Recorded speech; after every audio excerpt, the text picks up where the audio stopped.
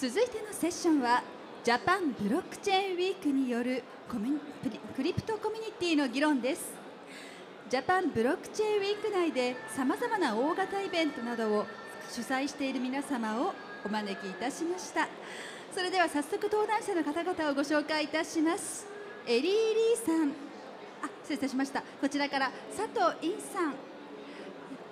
ドクタープディングさん。ウィプラスワンさん。エリー・リーさんそして本セッションのモデレーターを務めていただくのは綾戸優さんです The next session is Crypto Communities Discussion by Japan Blockchain Week.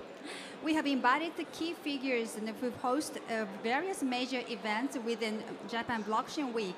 Let me introduce our speakers. Satu In, Dr. Pudding, Weebless 1, Ellie Lee.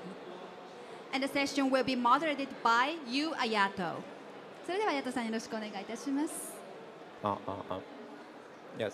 Hello everyone, I'm the Yu Ayato from the Japan Blockchain Week. Uh, maybe you know or not, uh, this conference also is the IVS Crypto with Japan Blockchain Week. So this year we are very honored to co-host this event. And also Japan Blockchain Week not only one event, as we say, week. There is many community events, official partners, many events. So today there is many community leaders coming from here. They are organizing the very good event while this July. So please introduce your project, yourself. So one by one, start from the start. Thank you, Yu, for the introduction. Hi, everyone. This is Satu here. I'm from Edcon team, and we are the Community Ethereum Development Conference. And we're going to be in Tokyo this July, from July 24th to 30th, at the Yoyogi uh, National Gymnasiums, as well as the United Nations University. So we've been doing this for eight years now, and it's our very first event in Asia this year. If you're interested in learning more about Ethereum network and have fun while learning, just definitely come to Tokyo for our event. And we have Dr. Pudding here. Yes, thanks for the introductions. I'm Dr. Pudding from Kudasai JP, and um, Kudasai JP is the one of the biggest community in largest community in Japan, and it has 20,000 members in our community right now. It's um, so we've been running the our community for four years, and um, we made. Yeah, I think it's one of the biggest one. and thanks for uh, inviting me, and thanks for introduction, and thanks for the good opportunity. And he's the V plus. Yeah, thank you, Pudding. Um, Kudasai Japan is not one of the biggest one. It's the biggest one. Uh, yeah. Right, right, right. Nice meeting Yeah, you guys. Um, this is V Plus, head of IVS Crypto, this event. So welcome to IVS. so uh, we, everyone here, I think we're working together. Uh, so I'm also serve as an advisor of Japan Blockchain Week. And we also work together with Edcon to, to make it like work better in Japan. And for like uh, all the events other than IVS Crypto, so we collaborate with Kudasai Japan, some event on like a Tokyo Tower night like last yeah, year. Yeah, yeah. Tokyo Tower. We did it. We hold the side events at the like hotel. 10,000 people come, coming to Tokyo Tower and we, we collaborate and organize together. So thanks so much. And looking forward to talk all, all, with all of you guys. And next, Ellie. Hey guys, uh, my name is Ellie Lee. I'm the head of product for the University of Ethereum, which is an education initiative that focuses on uh, raising the uh, benchmark for digital literacy. Uh, so how we're going uh, about doing that is uh, creating this online platform to get people into the door, this Duolingo style platform to get people understand the basic blockchain concept. We also have different programming given your uh, different journey, different stages uh, of your Web3 journey, but really just focusing on building long-term impact um, and building projects that actually uh, contribute to the greater Ethereum ecosystem. Thank you, guys. So here is the, from the one first question. So how, what's the, your motivation to making the community? Because for example, making like the product or making company, it's very easy to understand the motivation, but uh, start uh, developing the community is very, I think it's a very unique way to join the Web3 ecosystem. So yeah, I want to ask you about that. Also, I want to know, for example, if your community start from the very clear vision and stay on the same way, or people, people, people, and something that changing again and and again. So yeah, please uh, who start? I think Dr. Pudding might be the best one too because you started Kudasai. Okay, Yes. Um, so you, you want to know the motivation? What, Motivation, is, yeah, and how you start the community. well, for, for our community, uh, we started as a DeFi trading group in 2020. So we've been running for years. Um, but um, the style we made uh, our community big is, is kind of the in common words we say pay it forward. I mean, we don't want to dump on the community. We don't want to do the, how to say, the paid marketing. You just want to share the good informations. And we need. Uh, we like the cutting edge information. And for, uh, pursuing those things is very important for the crypto this field because the, uh, the things are very changing in this field. And um, I know that um, in Japan, Japan is so slow. There's so many time lags in the global market uh, compared to. It's kind of the half a year or one year later than the global trends. And the recently, my friend asked me, "Hey, I heard about the BRC20. Is it good? oh, you're buying BRC20 from now by now? Uh, um, uh, it's uh, it's uh, maybe it's okay, but uh, yeah, try it." so uh, yeah, I feel that it's so slow. So I want to eliminate those gaps between global market and the Japan, Japan community. So we are trying to share the cutting edge information and um, yeah, try to make the Japanese literacy to the global level. That is our motivation. So how many people was in the core member for a beginning? For the beginning, maybe the, it started as a, about 10 people community. So it's the same core member is the or managing the community or changing the core members. Uh, sorry? The core, core member, the managing. Uh, core members, um, yes, uh, many of the members stay in community because uh, we established our co- company, but it's all, all from the our community, including me. So everyone is, has, how to say, high loyalty to the community. Everyone, yeah. Okay, got it. Uh, yeah. So Yeah, I actually wanted to comment on that because uh, we also started as a global decentralized community, but we have a different approach because we're a nomadic conference, which means we're in a different country every year. And uh, in addition to the existing community that's online, that's global and decentralized, we'll go to a different country every year, find local communities, try to talk to the correct partners, and trying to you know enlarge the size of the community. So it's a combination of online and offsite. So that's how we do it. How do you feel about Japanese crypto community from your view? Uh, I'm not sure if I'm the right person to comment on that, but definitely it has evolved a lot from, say, like two years ago, right?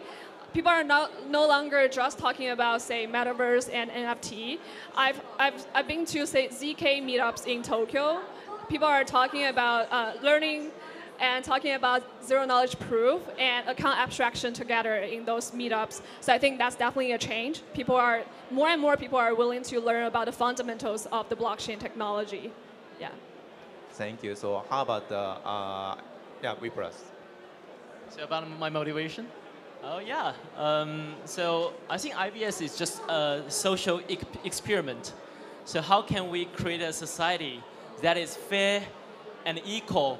Everybody can contribute to and also get benefit from it. So this is not only one conference. So we have this year already 3,000, no, sorry, 300 side events. I think uh, after a few days, uh, it's still like the, the number is still increasing. We will have 350 side events in such a small city, Kyoto. Wow, one, one, 100 side events like a day. So I think it's about like a social movement. It's about like everybody would like to contribute first, like pay forward, uh, exactly as like Kudasai thought. So everybody contribute first and have fun, and then finally they will find uh, they will get some benefit. And also, of course, as uh, Sati said, we want to uh, cross the boundaries between Japan and the global Web3 society. Because when you go to bookstores in Japan, I think many things are kind of translated translated in a bad way, Yeah, yeah. right? They just want to expand it easier, but that's not true. That's something wrong. So we want to bring those global top players to come to Japan, and people can, can, can listen to their like voice roughly and, and talk with them, engage with, with them to get the first hand of information. So the, to, to, to, to, to build a like correct base of building the crypto uh, business in the future. Yeah, that's my motivation. Yeah, great event. Uh, oh, is so? We plus, uh, I have the question. So how I feel like the IVS is the core of many, many, many side events. So how you coordinate with and how you do manage to talk with so many event organizers? Very good question. Because we are not like some other conference, global conference, like people can apply for side event and then get then they get accept automatically. We're still kind of like controlling, like centralized. So we have a screening process. So people submit, and we see if the side event is, is, is good or not. If it's like you know, like rug pull, no, then rug pudding, rug, rug pudding. Just change my name. no. So, but if it's like a, a really nice event, so we, we put onto our list. Uh, but we have a detailed guidebook about how to create a side event, like how to use Luma, how to apply through our Google form, and how many minutes, how many days we, uh, it need for us to, to respond to you. So a, a whole bunch of guideline to teach you how to create a side event. And finally, I think this is like uh, we're making a game rule. So if you're creating a good side event, we give you some, a little bit, uh, next pass um, to, to your members. So to, uh, it's like a reward uh, your contribution of the whole ecosystem. So it's a game rule.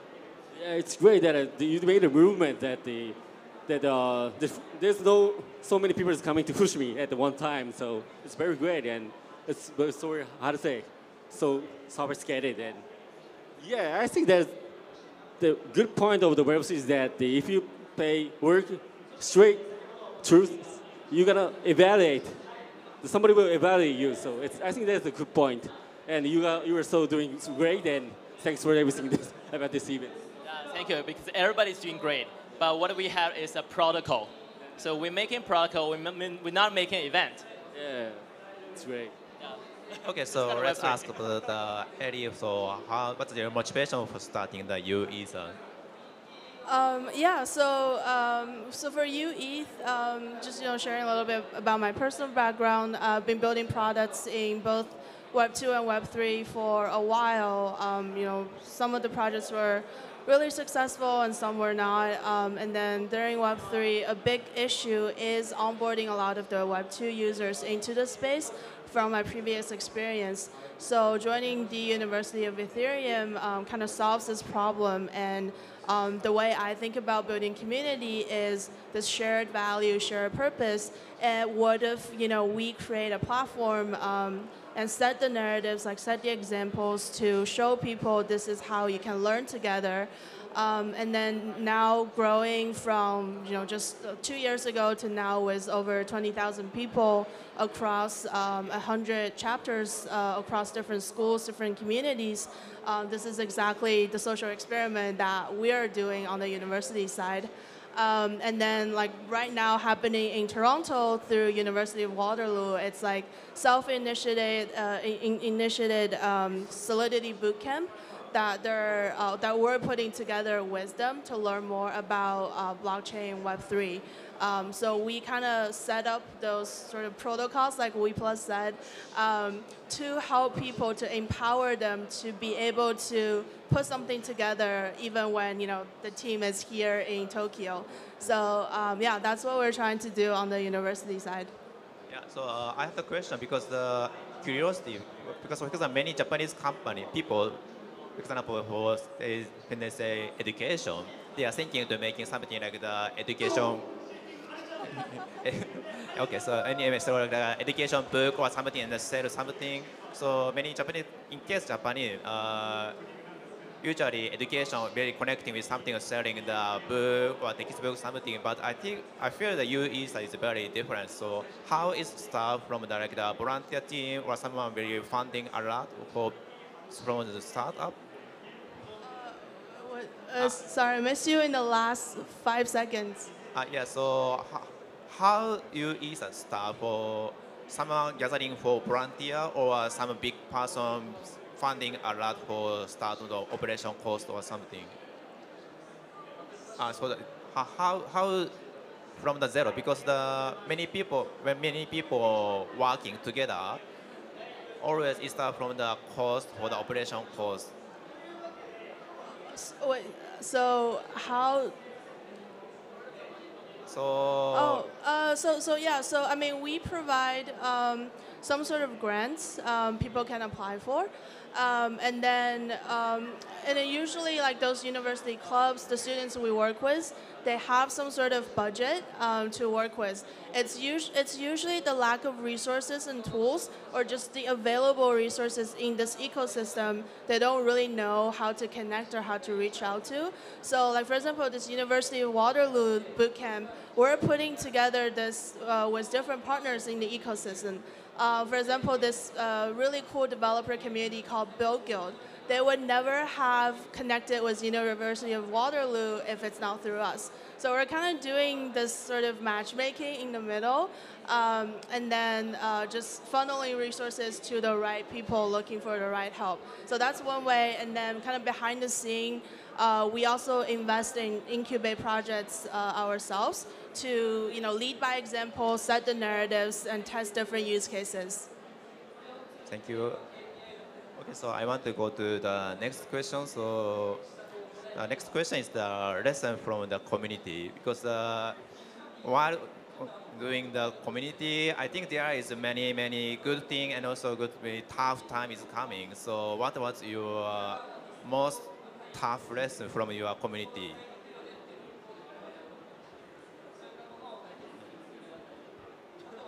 Shall I? Okay, okay, thanks, Sam. Well, um, in 2020, I mean, actually 2019, there was no co- community for the crypto at those days in Japan. There's a, there were only scams, so so uh, so there's no competitor at those day, days. So there's not sure how building the community. You just did the straight thing, the true thing, and the people just came. So You become the first one. yeah, first one, yeah, Oh, w- we are the same, so. yeah, that's a strategy. And well, actually, maybe the first thing was the the busy. It was, it was too busy, especially in 2021, because the many projects wanted to do the AMAs or something like that, and they got, they want to get into the Japan market, and we have to hold the AMA every day, almost every day. So it was too busy for us. I think that was so, hard. in- in that case, how you pick up the project? Because the many projects asking kudasai to, okay, please do AMA, please do something. So uh, you can't do everything, so you should pick up for something, right? Yeah, So what, what's the core, something like the basic, basic regulation or something for pick up the which project should okay or which project is not good? Well, actually, uh, as I said, uh, um, actually, we don't want to do just the paid marketing things. Uh, we really want to do work with the good projects because, um, it- like, um, how do I say? It's now we have the two, 20,000 members in our community. So if we advertise the like PFP pro- NFT products, maybe some of the members will buy it, and it's too dangerous. I mean, the, the, many of members, recently many of our members got airdrop from the many products, so they got the money, so, so they easily buy the many NFTs. So it will go up at the pump, and somebody will do, do the dump, so we don't like that, those things. And um, recently there's so many gaming projects coming out, but we have uh, only limited times to play the games. We cannot play the, all of the games. So we want to uh, work with uh, many good gaming projects. And um, many good reputations. Who is the uh, CEO? Who is the backers? And what is the reputation from their friends? And something like that. And there is they are, are they on the trends or? Yeah, maybe. Yeah, we have the some kind of the borderline for the projects. Okay, thank you. So, so how about the V plus? You mean like what's the problem or how we choose the project? Uh, Which Uh, questions? I don't know. Before, uh, what's the, the the most difficult thing for in case, for example, IVS for this? uh, How many years from the IB? It's three years. Three. Yeah, I've used crypto. Yeah, uh, it's from 2022. So, what was the most difficult time for you? Yeah, still it's a rule making. How we create a protocol that to uh, provide a platform for everyone that makes them, them feel like it's equal and it's fair. So we have a lot of like uh, main partners, which are sponsors, how to create the menu. We have VC partners, community partners, media partners. So how we create the rules to make everybody happy and make their like uh, willing to uh, contribute to the whole ecosystem. So this is actually like programming. So we need a lot of debugging inside it. Uh, actually, I was an engineer before, so so I kind of think this this kind of iteration uh, is something we're struggling a lot to make everybody satisfied with that. Okay, Fairness thank you. is very Uh, yeah. Wanted to sorry, I just wanted to quickly comment on that. Um, I fortunately haven't got any tough lessons, but there's definitely there are definitely challenges. I think uh, another challenge that's still existing uh, till nowadays is definitely how to establish consensus among different people. Because building community, you're essentially gathering a group of decentralized and diverse individuals and different people have their own goals, purpose, and they what essentially what they want to achieve in this ecosystem. How are you making sure that they all have the right ethos? How are you making sure that they're moving along with you? I think that's something really challenging, and actually um, by having those on-site or uh, face-to-face interactions like IVS or uh, IVS Crypto and Edcon, you can essentially it's like team building for those communities and um, it's a great commu- it's a great opportunity for people to connect and solve the problem yeah Okay, thank you. So, yeah, how about the Ellie? Wait, what's the question? Yeah, so the, what, what was the most difficult moment for you for, for the UE's organization? Right. Um, so I think for me, um, like I mentioned, uh, you know, I was building products, um, like uh, just just working in Web two and Web three, and then it didn't really give me like this platform or ecosystem overview. And then now through the University of Ethereum, when you work with different schools, different uh, community leaders, and different projects that are all looking to do the same thing, like you kind of just feel so energetic every single day. Like you find a purpose that um, you know to move towards um, this this common goal uh, to build for this greater ecosystem. Um, so I think this is what's really powerful. Um, and specifically in Japan, I think this year we're trying a lot of really cool use cases. Uh, for example, we're setting up scavenger hunt for for Edcon, and it started this week. So um, you know, there's Centrum, which is a Web3 co-working space, and then we have a station at Digital Garage. So a bunch of different locations at, at Shibuya. So because, uh, so we kind of got a yes from all those different communities because of the shared ethos, shared values. So we could test these um, I'll say usually commercially very hard use cases in the real Web 2 world very easily through the university uh, ecos- uh, the the UETH ecosystem and in, initiative. Thank you. Uh, thank you guys. So we have only five minutes left. So please say one by one what t- today's uh, wrap up and please say something. If, for example, if you want something to share, for, for example, like the next event or next roadmap or something, uh, please, or next year, what do you do? So please say one by one for one, one minute. starting with me i think like community essentially is about people and it's about all of you who are sitting here right like what attracted you to this event what attracted you to continue to keep building and what will keep you going? I think those are the questions you need to ask yourself, and we need to ask ourselves as like community organizer as well. What is this thing? Um, well, definitely, definitely, um, our goal is to move the ecosystem to build build a better Japan uh, Web3 ecosystem. But definitely, I think um, this is something we all need to ask ourselves, remind ourselves every day. Yeah. Ah, oh, uh, you And have go to something- Edcon. Yeah, Edcon, Edcon, Yeah, and, and definitely come to Edcon end of July in Tokyo. Yeah. 26 to 30. Yeah, twi- like you will start actually at 24th to 30th. Yeah. And um, I will be the one of the speaker of the Edco events. and so actually, Kudasai is a user committee and totally free. 無料ですので、yeah, everyone can join. So if you, yeah, please join us. And we will hold the side events tonight at, um, I forgot the venue name, but yeah, uh, it, maybe it's uh, thr- 300 or 400 people are coming this night. So yeah, please join us. And uh, recently uh, we made a subsidiary called Omakase, and it's called it's kind of the validator company, and it's uh, invested by the Nomura Holdings.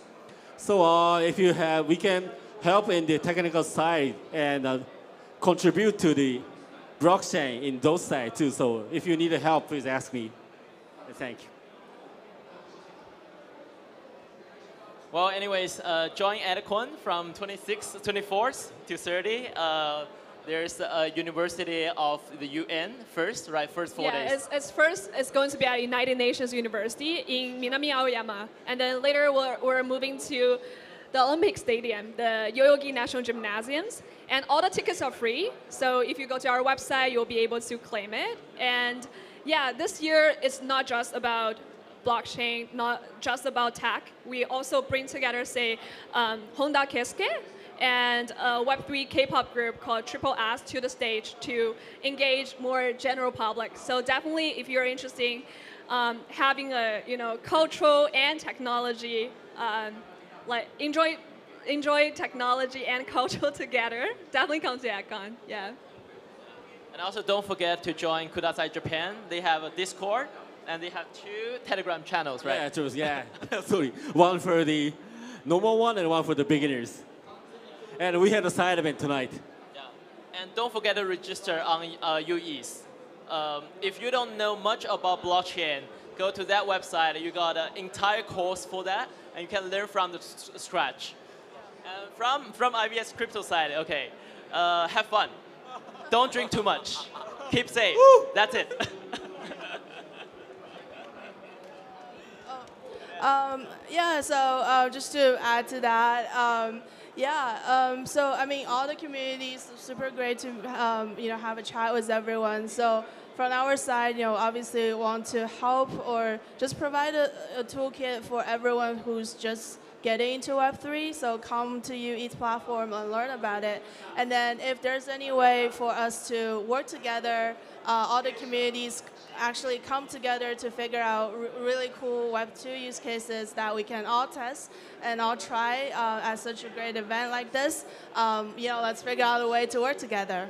Um, yeah, I really appreciate everyone uh, being here. Um, yeah, let's let's let's keep building. Thank you guys. Yeah, thank you for a great session. Uh, so please have the very big applause for them. それでは、えー thank you. Finish. yeah. Thank you all for being here. Thank you. Thank you. ありがとうございま Have し fun. た皆様もう一度大きな拍手をお願いいたします